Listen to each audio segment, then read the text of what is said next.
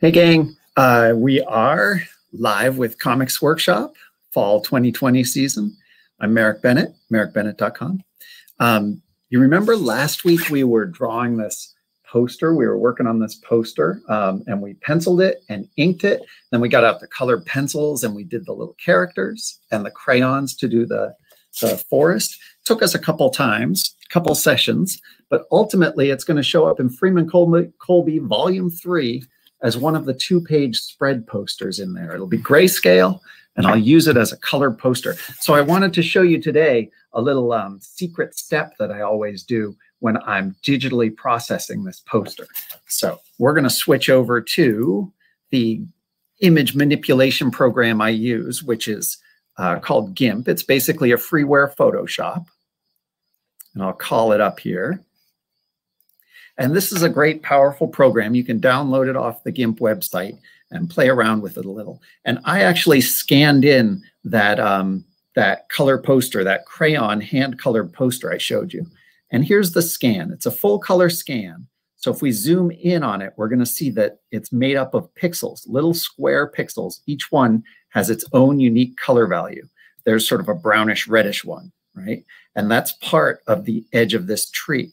Now, one thing to notice now that this is all scanned in here, the crayon drawing is scanned into a digital file. If I zoom in on the black lines of the inked drawing, you notice something about that black ink. It's not really fully black, right? It's actually lots of grays and yellows and greens and blues. Remember, as we crayon colored there, the, um, the crayon actually covered up our ink drawings. And you can sort of see that by eye but when we scan that in, it really shows up. It's really quite noticeable. So this is an issue because if I'm trying to print this image and I want it to print clearly and crisply, those black ink lines are now all muddied up and lightened up by the crayon colors. There you can see it really strongly. The red crayon just lightened up and reddened up and oranged up that black ink. All right. So we need to solve that today. Um, and I have a little trick that we're going to use to solve it. So let's open another file. I'm going to go into open here. I'm going to open our first wilderness file that we ever scanned. And these are large files, but if you remember, before we ever colored this poster, uh, we actually scanned it as a black and white image. So here it is as a black and white line art image. And let's zoom in on that same line, that, that really red and orange line at the branch of the tree. And you notice here, of course, there's no crayon. And of course, I boosted the contrast all the way. So every pixel is either black or white. And we said, remember, we said we do that because that prints really clearly. So what I'm going to do here is I'm going to select all, and I'm going to use this black and white image over the color image to make the color image have a clear black line outline over it. So I'm going to select all, and I'm going to copy this image. Then we'll go back to that colored image there. GIMP has these nice tabs here, so I can toggle between the two images that I have open. I'll go back to this colored uh, the colored image, which is an RGB colored image. We're keeping it simple, just doing RGB here. Um, and I will paste that black and white drawing over it. Whoop, there it is. But Marek, you're saying that's covering up the Colors, well, yes, it is. Look over here. Let's make that its own layer. So over here on the layered tabs, I'm going to click into here and we'll call that B and W layer. How about something descriptive? So now you can see the black and white layer is on top. If I drag it down, the color layer is now on top of that. So you don't see the black and white layer. So we need to come up with some way to see both of them. I'm going to put the black and white layer on top of the colored layer. That means I have that colored scan and then laid over it is the black and white scan on this digital file. Now I'm going to come up here and check the mode of that layer and that black and white layer, if I have that selected here, I can change the mode to be darken only. And that means only a pixel that is darker than the pixel it's on top of will show up. Anything lighter the dark the darker pixel will just show through. So let's see what that looks like. Darken only. Oh, there it is. That means all the white pixels just became transparent because nothing's lighter than the white pixels, right? This is additive illuminated color. So nothing's lighter than the white pixels, nothing's darker than the black pixels, and we only have black and white on that layer. So now we what we're seeing is the black pixels, and we're seeing through the white pixels to see the color. If you'll see the difference, if we look just at this part of the picture and I close the eye, which makes the black and white layer invisible, and it's gone. We're back to just the color layer, right? And if I open the eye to make the black and white dark and only layer visible, we get the black lines back and nothing else. Just by way of contrast, if we set the mode to lighten only, I think we would get just the white pixels. Ooh, that's an interesting look. Just the white pixels and showing through the black pixels would be all the inadequately colored, inadequately inked lines of the color layer. So we don't want that. Kind of weird and, and unexpected and rainbow dark looking. Let's go back to darken only. There we go. All right, I'm going to save this before I do anything else. We're going to do a couple little changes to it, but I'm going to save it as, and we'll call it Homer Wilderness RGB. This is the second scan I made of that. And an XCF file is a layered file for the GIMP program. So we'll just say that. Okay, now it's saved. So what I want to do next is go into the distance. I'll, I'll give you an example of this. All right, let's make that a little bigger there so you can see it. All right, I'm going to go into the distance. Let's say we don't want heavy black lines on those soldiers moving through the distance. I can go around them Let's just select all those lines there. I'm using the lasso tool now. And as I click through here, it selects the pixels. Now it may look like I'm selecting colored pixels, but remember which layer do we have selected over here in the layers tab?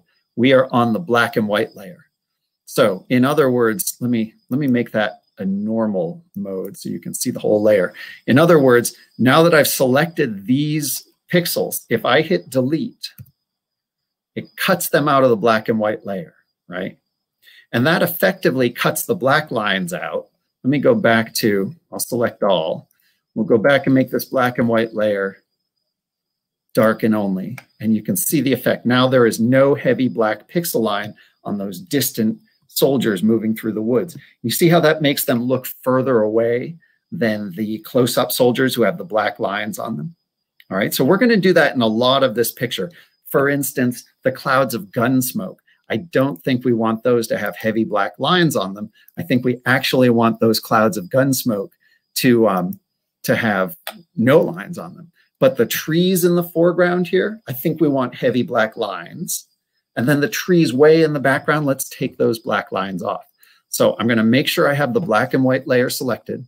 Let's start over here on the side of the picture. This tree in the foreground on the left, right here, we're going to leave with the black lines. But these trees to either side in the distant background, we're going to take off those lines. So let's use our lasso tool. And remember, we don't have to worry about the white pixels of our black and white layer because they don't show through anyways. They're transparent if it's set to darken only. You'll see once we do, oh, that's a branch, isn't it? So that we don't want to select. That's a branch of the ivy. But we do want to select these few soldiers. Let's see here.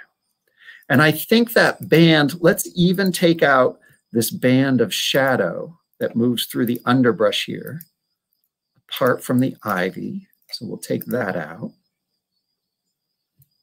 And I will double click to select all that and I'll hit delete, or you can go up here to edit cut and that'll cut it out. Did you see that? Let me put it back, undo that. And when I hit cut, the black ink lines disappear from that part of the forest. I'll go back to select all. And if we zoom out, now you can see that tree on the left with the heavy black lines on it comes out and it's in front more because it's closer to us. It, it seems to be closer to us because it's higher contrast. And those trees in the distance don't actually have the heavy black lines. So they look like maybe they're obscured by gun smoke or a little mist or just a little farther away and a little um, lower contrast. Same thing has to happen for these branches here in the crux of the tree. Let's see. Once again, I'm looking to make sure my black and white layer only is selected. I don't want to cut the colored pixels out of the colored layer. That'll leave just a big white gap here. Okay. There we go. Let's hit delete, or I should show you the cut. That cut, let's undo that. And we'll redo it, cut, and that cuts those black lines out of that canopy there. Now we do have to decide at some point which part of the canopy is close enough to us to have those heavy black lines. For instance, if this foreground tree here is going to be have heavy black lines, maybe the canopy above it needs to have heavy black lines too. But at some point, we're going to cut those out. Let's see. Let's cut all these black lines out of the distance in the canopy. I think that's actually a branch coming off that tree. Cut all these out. Maybe we'll just come right around here. You know, if I'm unsure, what I should probably do is make sure I keep a black and white layer with everything still on it so I can always go back to it. I will paste a black and white layer in. I can make it invisible and leave it there. Then I can always get parts back if I decide I cut out too much. Now, what did we say? I'm going to have to cut carefully around these soldiers because these foreground soldiers, Freeman Colby and Jonas Bacon and company, they will have black outlines around them, but this gun smoke will not. So that we're going to take all the black ink work out of. Think that'll make it really striking. That'll really draw your eye to them. So let's just try, we'll confine ourselves just to this black ink cloud here, and we'll decide about these sticks afterwards. All these sticks and branches on the ground that fell as the, they said, as they sat under the pines, the uh, bullets and the cannonballs and things would come flying through the branches over them and shower them with pitch and pine needles. All right, I've selected that whole area. I'll hit cut. And oof, there it goes. Let's step back for a sec and look at that effect. Oh, I really like that. My eye really sees those trees. That brings those trees up into the foreground. Let's put another full black layer on just so we can, full black and white layer on there, just so we can, um, just so we can compare and contrast. I'm going to select all. Um, and I will copy can we select all? Yep. Copy. I'll come back to the color version and I will paste. I use keyboard shortcuts, but there we go. We'll call that black and white layer full. There it is. And remember, we have to make it darken only. Okay, so here is our full black and white layer. And if you look, there's a lot of black ink in there. Even the distant trees are drawn in black ink. Everything seems to be like all on the same level, the same level of intensity and contrast. But let's switch that up with just the black and white layer where we cut out the distant black pixels. And that'll look like this. Ah, that draws your eye to those foreground characters and it helps the background sort of fade a little bit. Um, and you can play with this too. You could also, I suppose, one could put the full black, black and white background layer in, but then play with its opacity. Right here, we have a control of opacity, which is how see-through the visible pixels are.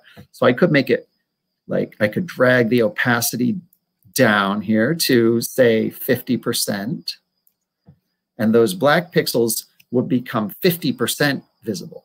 You see that little bit of a difference? If I bring it down even further, they get lighter. If I bring it up, they get darker.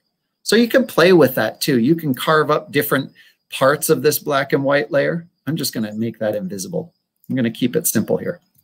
You can carve up different parts and play with the opacity and get different levels of black line on there. But the key thing though is to use that black and white layer so that when you look at the foreground objects, well, let's look at our characters here.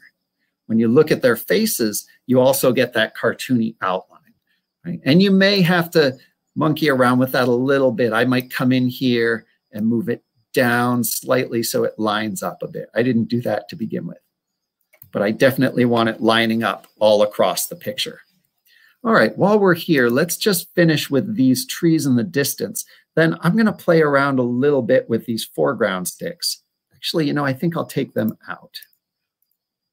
It does look pretty clear to me that I want them out so that my characters stand out. Then I'll leave the, the bushes dark right around their feet. Wherever they're sort of touching, I want that to have sort of a, almost a magical visibility to it. And I'll have to decide exactly where in this tree. Oh, now I have to decide which lines disappear and which don't. Let's try this. If that doesn't look too... Oh, I can't decide. Oh, I'm going to escape out of that and I'll just do these sticks here. Sometimes it takes some trial and error. I can't decide which part of those bushes should be invisible should be lighter, you know, lower contrast, and which should be the high contrast with the black lines. It's not something I want to necessarily commit to live. I'll, I'll try out a couple versions, maybe let it sit overnight and look at it tomorrow and see which version I like better. So we'll delete those lines and step back and see. Oh, actually, I really like that look. Hmm, I'll undo that, put them back in. See how those um, those darks, the black ink sticks along the ground there really pop and stand out. If I delete the black ink pixels off the black and white layer, then they don't pop out as much. They kind of uh, meld into the forest floor, which I kind of like. I'm going to keep the black ink on these foreground bushes because that makes them nice and dark and high contrast. And now we're just going to go into these distant trees take the black ink out from under that canopy. I think I'll leave the black ink pixels in the canopy because that canopy kind of connects to our foreground tree, which definitely has the black ink. Let's see here. I'm going to leave all those bushes in the foreground for now. I might take some out later. Freeman Colby's rifle barrel stays in. Jonas Bacon's barrel stays in. We'll go up here and take all these branches and sticks out. It's a slow moving sport watching people process these digital files, but it's rewarding because you get a cool image at the end. Ready? We're going to cut that out with a hit of the delete button. And then we'll step back Oh, that having taking the black pixels in the distance out on both sides of that tree really brings that tree out. And I like the gun smoke without the heavy black lines. That gives our picture, remember we started, if I make this black and white layer, our partial black and white layer um, invisible, we started from here, no black pixels at all, right? Everything's colored, but the, the, you don't, you lack the definition and the clarity of the black ink. Then we added in a full layer of black and white, only set to darken only, right? And that gives everything kind of a flat clarity. And then we cut out some of the black pixels and left it only around the foreground. And that gives us at least two level levels.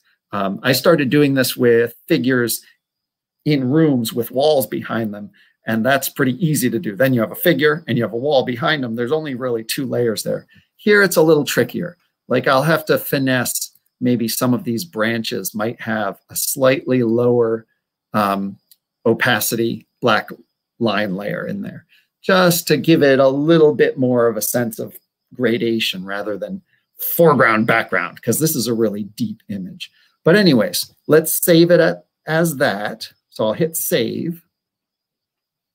And then I'm also going to export as a TIFF file. And this is such a large file because it's RGB color. I'm going to call it TIFF plus LZW. And that TIFF file, I will actually have LZW compression. Now I write plus LZW on the file name because you don't want to try to print with LZW compression. That you can run into issues when you try to print. Ah, it's taken a while to save. And then I'll also save a smaller JPEG version so I can pull it out and look at it. Let's actually try saving a JPEG at this full size. This is a 10,200 pixel wide image, so it's a good size image. I scan all my images at 600 dots per inch because I can always make them smaller, but you can't make them bigger once they're scanned.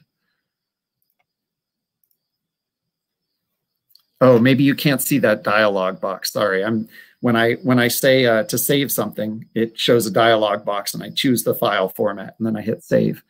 Now that I look on my uh, screen here, maybe you can't see that. So, but you can see the original. The thing to remember with these files, anytime you scan um, uh, into RGB, is that the way the color looks on the original drawing, the hand-colored poster, is one way. That's reflective light. The way the scanner sees that is another thing. The way the, the computer represents that on the screen, which is illuminated light, uh, that's another thing. And we process it from there. And then the way the printer, if we send it to a printer, the way the printer actually prints that is a whole other thing. So um, the only real way to see how this is going to come out is to play around with it a little bit here, send it to a printer you know, ask them to print it, and maybe go in and and work with them to get the color balances right, um, depending on how you're printing it. But that gives you a little view of what it's like to do that, um, to add that black line layer in there. It's much more clear, much more visible than the original scan where those black ink lines are covered up by crayon, in my case. That's partly because my crayons are so, crayon is inherently messy. It's just smearing wax across the paper, right? So this gives us an artificial black ink outline around part of the image. Great. So I'm going to use this one. Um, this will eventually, oh, let's make a grayscale while we're here. So let's see. I'm going to take this. I'll select the RGB layer. This is the last thing we'll do. I, I forgot I wanted to do this too. I will select all, and I'll copy that. And now I'm going to take it into, I'll paste from new. So I'll just paste into a new image there. See, it's got a new tab up here. And I'm going to convert the mode to grayscale. And that will just wipe out all the colors and turn it into a grayscale image. Um, and I think what I'll do is I'll also go into the colors and play with the brightness contrast a little bit. Maybe a little lower contrast, maybe a little brighter. Oh, that's going to get pretty gray, maybe a higher contrast to bring out some of the dark lines. Get it so it looks about right or as clear as possible. If I undo that, we can see that's pretty dark, so I'll redo that.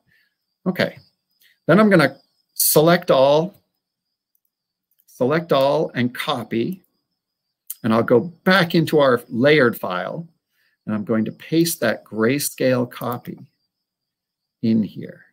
Now I'm going to call it gray. Whoops. title it gray. And I'll drag this down so it's just over the colored layer. And normally I'll make it invisible so we can see the colored version again. But then if I want a grayscale version with those heavy black lines on there, I just visibilize that gray layer. And this gives us, initially our grayscale layer would look like this without any black lines, right? But all that work we did to set up our black and white layer with the selective black lined areas, that can lay over the grayscale. And now I will export as, and we'll call this gray, and we'll just do a JPEG to see how it looks. So now I'm hitting export and now it is exporting. Okay. I don't know if you can see that dialog box or not. And then um, I'll remember, of course, to save the layered file. This is still an RGB image. If I make the gray invisible, you see the colors again. So I'll leave that gray layer right in there and I'll hit save. And now my layered file, I can go back to my layered file, play around with the black and white layers, um, play around with the opacities, and export a new grayscale or a new RGB color version as I need um, to make a poster to go into the book. Because when I put it in the book, remember, all those fine colors will actually get compressed into gray. So it's much better. Here's a, I'm holding up the book here. You'll see these two page spreads in, in all the Freeman Colby books. So it's much better to actually control those gray layers, uh, those grayscales in the program and get the contrast just right uh, before I put it into the book and find out how it prints. Um, all right, so any questions? Let me know. I hope this is helpful. Um, I hope it's good to see how these little tricks about how these files come together and why they look clear on the page. Because if you don't do some of these tricks and you put it into a book or into a mini comic, it might not come out all that clear. Um, so I'll post the uh, final scans and the final versions to the Patreon. Thank you, thank you, patrons, for making all this possible. I'm going to do a lot of uh, just public demos and stuff as I work on things this fall. Um, and the full set of demos and stuff will be over on the Patreon and the printables and the final versions of the artwork. So thanks for supporting. Thanks for stopping in, folks. And um, I'll see you again soon. We have lots more that's in progress here, lots more to do. Have a great day, everybody, and keep drawing. Good luck with your comics.